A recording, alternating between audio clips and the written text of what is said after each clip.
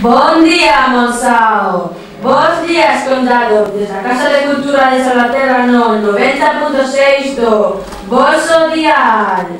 Neste fermoso día 29 de marzo iniciamos a construcción da nosa Ponte das Ondas. Ponte radiofónica que desde estes momentos ata as 11 da noite vai convidarvos a ligar unha banda co outra do noso pai niño.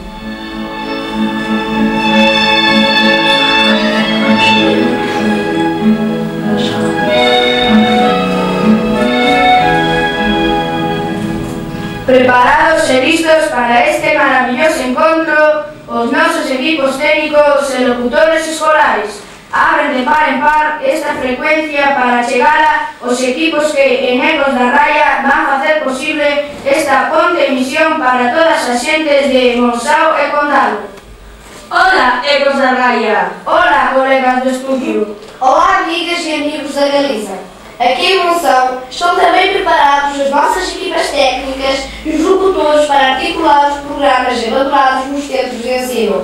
A ligação que todos procuramos neste dia em que a ponte de asfalto é, felizmente, uma realidade material que vai permitir aproximar-nos muito mais se assim o quisermos. Como nós, os jovens somos mais desenvoltos que os adultos. Com esta experiência iniciamos, para já, a nossa firme vontade de aproximação e comunicação. Para isso, apresentamos nesta jornada a raparigas e rapazes da preparatória secundária de Monção e da Cimagés de Pias. Hola, nenas e nenos de Pias e Monzón. Hola, amigas e amigos da secundaria e benvida toda a vosa alegría para esta empresa. E aquí estamos nós para contribuir tamén desa inteligente idea de mandade que expresastes. Desde esta beira do Concello de Mondariz, o Colegio Río Frío, Vilar, do Concello de Pontareas, os colexios Bouza Brei e Ramiro Sabel, os institutos de FP, BU e Arranxa. Desde o Concello de Salvaterra estarán connosco o Colexio de Leirado, Infante Felipe e Axén. Os colexios de Altamira e Parterrubias aportan seus traballos dende o Concello de Salceda de Caselas. E finalmente, desde o Concello de Porriño virá o Colexio Cruz Budiño.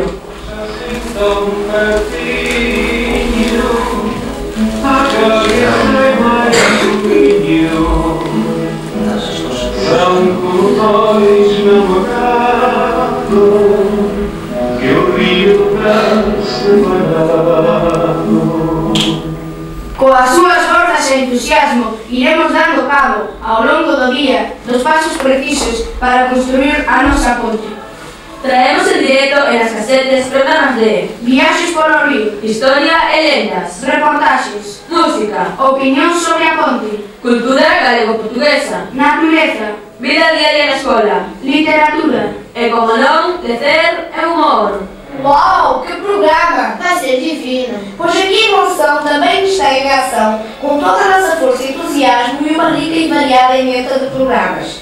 Trazemos música, radionovelas, Depoimentos e inquéritos, lendas um clube de correspondência. e ainda algo sobre astronomia para um dia tão importante. Estupendo! e a xente desde as súas casas e as escolas, como participa no programa? Muito fácil. Para todos desde 1 às 3 da tarde uma série de animados concursos nos quais, com uma simples chamada telefónica, poderão conseguir Camisetas, livros, pins, compactos, videocassetes. Repetimos, Desde a 1 às 3 da tarde, em rigoroso direto nos 90.6 FM. Os concursos da Ponte nas Ondas. Iso, gusta-me! E sabes algo desses concursos? sei alguma coisa, participar e ganhar no Quem canta, das adivinhas, o submarino personagens em monumentos é a pólvora e no que sabes da comarca.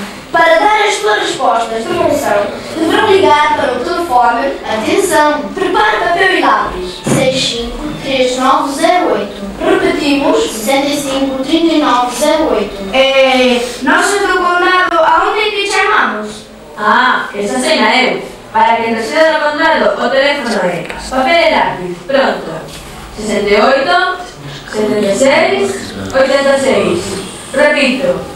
68, 76, 86. Então é assim. Para Monção 65 3908 Repetimos. 65 3908 Eh, para o condado, 678 76 86. Repetimos 687686. Mais isto non pode deter acabar aquí.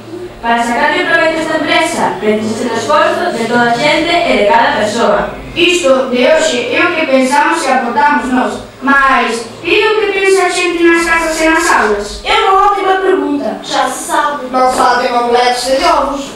Contigo, compa. Nenhunha ponte sen operarios se comprometa para facer algo. Pasear a ponte e falar coa primeira persoa do outro lado que lle apareza. Visitar os oficios mamas. Facer intercambios culturais. Axudes de escola para outra. Aprender historias e geografías. E tantas cousas como cuidamos. E para que se paga máis rápido, imos sortear unha bicicleta. Vamos tamén. Quen chame e contesta a pregunta Que que vas facer ti para mellorar as relacións entre os miñotos e o condado en Mosao? entrará en el sorteo de una estupenda bicicleta. Os teléfonos para esta pregunta serán, anotados o contados. 68 76 81 ou 68 76 82. Repetimos, 68 76 81 ou 68 76 82. Que fica claro como água. O que vais fazer tu para melhorar as relações entre os minhotos de mansão e o condado? Para os de mansão, telefone é 65 34. Repetimos 75 11 34. Esperamos as vosas chamadas desde xa ata as 9 da noite. E para as 8 menos cuarto da noite procederemos o sorteo entre chamadas recibidas e anunciaremos os nomes das, das persoas gañadoras. Sorte! Non deixede de conversar sobre isto nas vosas aulas e nas vosas casas, porque para esta labor facemos falta todas e todos porque hoxe continuamos co derrube dos castelos, que un día impuxeran a separación entre os barrios do Miño e os portos do Douro. E, aunque non nos dan consentimento, decimos que non queremos seguir hoxe os que sempre estivemos tan perto. Que ben tu falas, Clé, obrigado.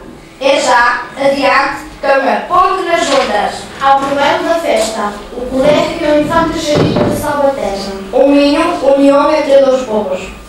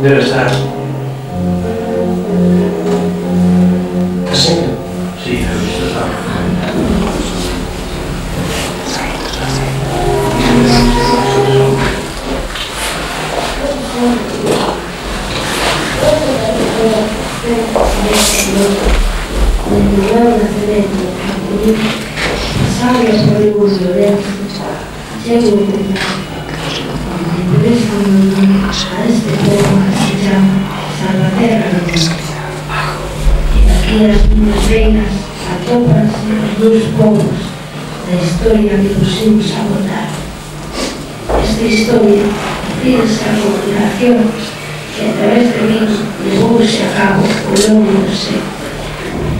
Moitas cousas eu visto nos cansados ollos, mas se os interesa, contarei vos algunhas das que me acordo.